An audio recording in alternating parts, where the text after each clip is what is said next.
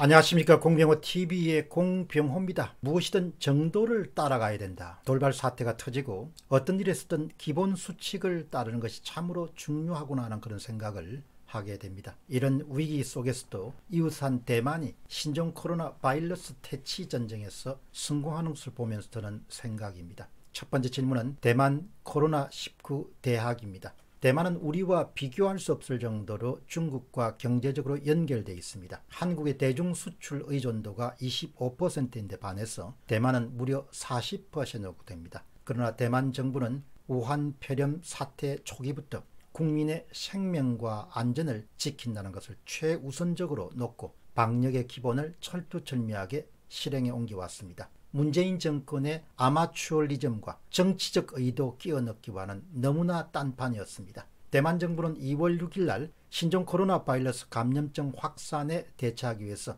중국인의 입국을 전면적으로 금지했습니다. 여기에다가 그 다음 날인 2월 7일부터는 지난 14일 사이에 홍콩, 마카오, 중국 등의 중화권 국가를 방문한 외국인의 입국도 전면 금지했습니다. 한국의 확진 환자가 이제 4천명을 넘었었습니다. 일본도 크루즈선을 제외하면 250명성을 넘어섰습니다. 그러나 대만은 2300만 명의 인구를 갖고 있습니다만은 대만의 확진자 수는 40명, 사망자 수는 1명에 불과합니다. 그리고 홍콩이 대만 인구의 3분의 1임에도 불구하고 홍콩의 환자 수가 100명인 점을 고려하면 대만의 이른바 전염병 퇴치 전쟁의 성과는 아주 눈부실 정도입니다. 국제사회에서도 우한 폐렴 사태에서 중국에 인접해 있으면서도 바이러스 확산에 큰 성공을 거둔 국가로 대만을 꼽습니다. 대만이 위기 관리에 성공하게 된 결정적 요인은 조기에 국경 통제를 단행하고 검역을 강화하는 것이 가장 중요한 요인이었습니다. 우리와는 너무 대조적입니다. 문재인 정권이 시진핑 상반기 방안에 매달려서 국민의 생명을 위험에 빠뜨리는 그런 조치를 취한 것과 정반대로 대만은 국민들의 생명과 안전을 보호하기 위해서 최우선적으로 중국인의 입국 금지를 단행했습니다. 대만은 중국으로부터의 유입원 차단에 힘을 쓰면서도 동시에 인접 국가들로부터 추가적인 오염원이 유입되어 들어온 것도 경계했습니다. 한국의 코로나19의 확산세가 점차 심각해지자 대만은 2월 24일부터 한국의 전염병 등급을 3단계로 격상하고 2월 25일부터는 한국에서 오는 모든 외국인들에게 2주간의 자가격리를 요구하게 됩니다. 다음은 대만의 위기관리법입니다. 대만의 위기관리 성공 요인 가운데서 어떤 으로 손에 꼽을 수 있는 것은 국민의 생명과 안전 보호 외에 그 어떤 정치적 계산이나 정치적 의도가 전염병 퇴치에 개입되지 않은 것입니다. 정치 논리가 지배하지 않았다는 이야기입니다. 이것이 바로 문재인 정권이 어떤 조치를 취해야 하는 것을 뻔히 알면서도 입국 금지 조치를 취하지 않았고 지금 이 순간에도 입국 금지가 필요함에도 불구하고 입국 금지 조치를 계속해서 취하지 않는 그런 불순한 정치적 의도를 떠올리게 됩니다.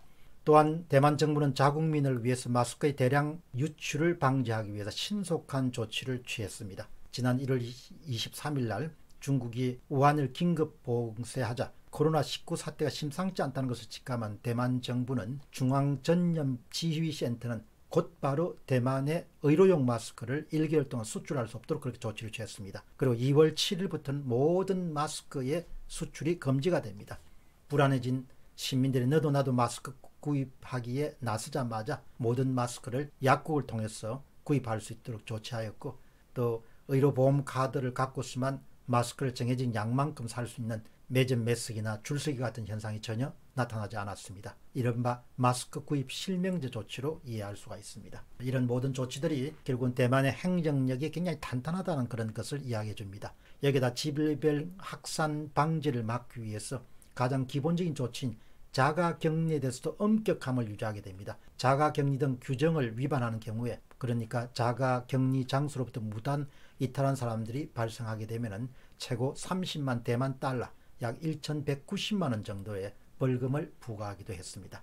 그리고 최고는 100만 달러 약 3,900만 원까지 격리 장소를 떠나게 되면 처벌을 받을 수가 있습니다. 특히 의료 현장을 잘 이해하는 치과의사 출신의 위생부 장관을 갖고 있었던 점도 크게 도움이 됐습니다. 그가 이 질병통제센터를 일사불란하게 움직일 수 있었다는 점도 위기 극복에 큰 도움이 됐습니다. 사회복지학과 출신의 교수가 보건복지부 장관을 맡고 있고 바이러스에 대해서 전혀 이해도가 없는 그런 장관이 진두지휘하기 때문에 결국 문제가 커질 수밖에 없는 것이죠. 따라서 의사협회는 하루속히 장관을 경질시켜서 지휘 부서를 바꿔야 된다는 그런 조언을 아끼지 않습니다. 그러나 대만이 성공이 계속될지는 두고 봐야 될 것입니다.